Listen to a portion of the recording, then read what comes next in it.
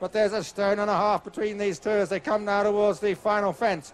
And the three of them are in line. Two from home, Desert Orchid, Nick the Brief and Kildimo in the air together.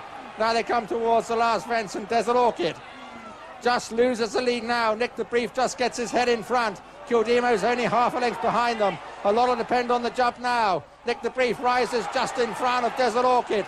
Kildimo on the stand side. But Desert Orchid, he's fighting back. He's fighting back on the far side and he gets his head in front again. And Desert Orchid raises the roof.